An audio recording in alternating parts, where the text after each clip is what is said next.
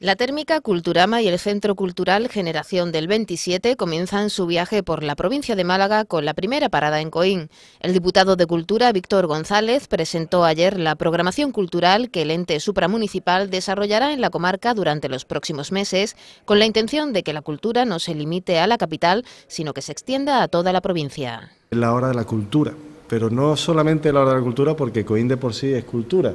Es la hora de la inversión en cultura y de convertirla efectivamente a Coín en el epicentro de la comarca del, Guadalhorce, por méritos propios, por infraestructura, porque el alcalde se merece eso y mucho más, porque trabaja como nadie por sus ciudadanos y porque la Diputación tiene un programa ambicioso en materia cultural y educativa y consideramos y creemos que con el patrimonio que tienes aquí, alcalde, con las ideas que tenéis aquí, nosotros tenemos la obligación, la bendita obligación de trabajar de tu mano.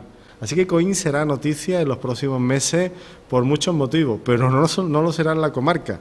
Superará los límites de nuestra provincia. Lo tengo cada vez más claro. Coín será uno de los principales municipios que albergará las actividades de la térmica enfocadas a todos los públicos. Las primeras propuestas serán un taller de diseño gráfico el 30 de marzo, microteatro el 1 de abril y el día 7 del mismo mes el taller fotografía lomografía. La programación continuará con teatro para mayores, ceremonia del té, cuentos en miniatura, arte terapia y painting in English. También se han organizado exposiciones como Málaga Territorio Visual Apertura en mayo y Barbie la historia de la moda prevista para la Noche al Raso.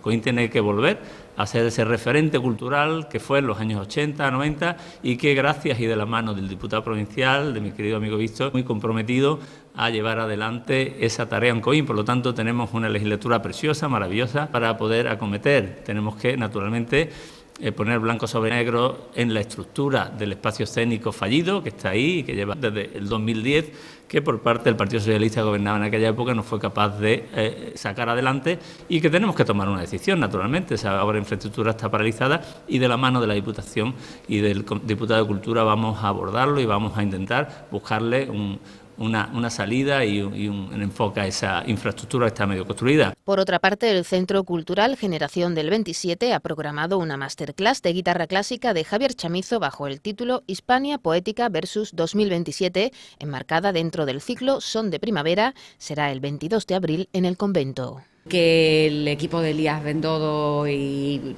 su diputado también entienda que todas las actividades culturales que han tenido tanto éxito en la capital se extiendan a la provincia, yo creo que es algo muy de reconocer, muy de agradecer.